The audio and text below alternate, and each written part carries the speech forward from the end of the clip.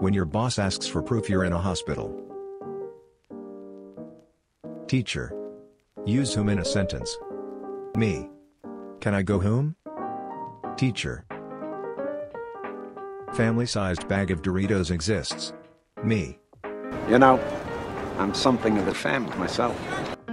When caps lock is on and you use shift on the first letter.